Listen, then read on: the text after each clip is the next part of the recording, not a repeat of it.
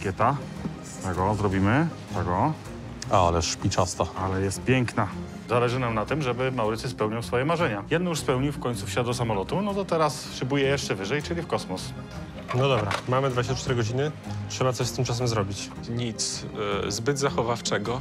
Trzeba pójść w dużą skalę i jak najbardziej wykorzystać to, że mamy tyle godzin. Trzeba rozrysować, wiesz, wysokość tego wulkanu gdzieś, co, gdzieś dotąd przynajmniej, nie? I od niego rozbudowywać resztę, nie? Rakieta, wulkan, a tutaj? Dobra, i tu będzie nasz jeleń. Tak, on musi być ogromny. Dobra, jedziemy. Dobra, Może teraz ustalmy, ustalmy skalę. skalę. Jeszcze jednego bezplay. Tak. Tyle, bo to jest Tyle. ogromna powierzchnia do Tyle. zabudowy. Tu ta No tu- rzeka tak, tak, rozchodząca tu, się, tu. z przywężenie. I wykorzystać może będziemy mogli ten Tak, kolor. że tutaj zrobisz ten, a tu jest coraz głębiej, tutaj Tak, dasz tak, jaśniejsze odcienie Dobra, niebieskiego, idę żeby po tego jednego. Przy, tak, yy, dobra.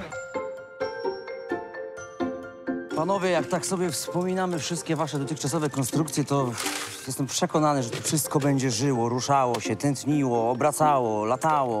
Najważniejsze jest to, żeby zakończyć historię naszego e, kuraka Maurycego. Pierwszym e, naszym bohaterem e, był Maurycy i chcemy, żeby Maurycy powrócił w ostatnim naszym e, odcinku jako ten zdobywca kosmosu. Dlatego też pojawiła się rakieta, a wszystko okazuje się, że jest jego sennym marzeniem. Super, no Maurycy, który z czerwonego barona przesiada się do rakiety. Brzmi to imponująco. Naprawdę jestem bardzo ciekaw tej farmy, która tu powstanie. Uszanowanie. Dzień dobry.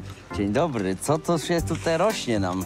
Czy to kolejny wielbłąd? Będzie to jeleń. O, Czyli nawiązanie do Tak. wielbłądu jelenia. a co tu się ma wydarzyć? Budujemy pana jelenia, króla lasu. On jest po prostu większy niż las. Napełnia rzekę, która będzie pod jego nogami. Ożywia las. Pomyślcie, jak możecie to też przedstawić w ruchu jelenia. Albo jego dumę, że on jest taki Tak, potężny. tak, tak, Dobrze się czujecie w tworzeniu takich wielkich y, zwierzaków?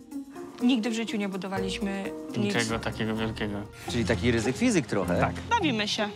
Wyszliśmy całkowicie ze swojej strefy komfortu. Sami jesteśmy przerażeni. Finałowe, finałowe budowle. Będzie spektakularnie. Będzie spektakularnie. Będzie spektakularnie. Budujemy wierzchołek wulkanu, przed którym widać wielkiego robota, który schyla się po zwierzęta, żeby za chwilę zabrać je na swoją platformę na ramionach i uratować je przed zagładą. I co, i ta lawa też będzie jakoś wypływać, wyciekać? Taki jest plan. Nie chcemy przesadzić z mechanizmami w naszej konstrukcji. Praca ma być czytelna już bez tego mechanizmu. To jest tylko taka wisienka na torcie. No dobra, jak się czujecie w ogóle w tym finale? No, czujemy się świetnie. Jesteśmy mega szczęśliwi, że tutaj dotarliśmy. Świetna przygoda, historia wzlotów i upadków. Mieliśmy te dobre chwile, mieliśmy te chwile trochę gorsze.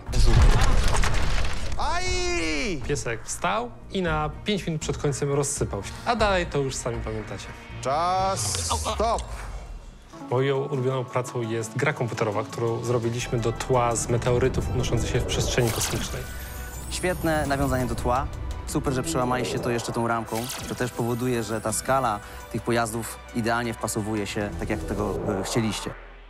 Jakbym miał wybrać jedną, to może nie tyle pracę, ale ten moment, kiedy Sara śpiewała obok naszego dzieła. Czy wiesz, czemu wilk tak wyje w księżycową noc? Wzruszyło nas to, że Sara odczytała tytuł piosenki z naszej budowli. Ale w taki piękny, śpiewny sposób. W naszych konstrukcjach szukamy tego, czego brakuje nam na co dzień. Mi tej zielonej natury, Bartkowi może trochę więcej komputerów,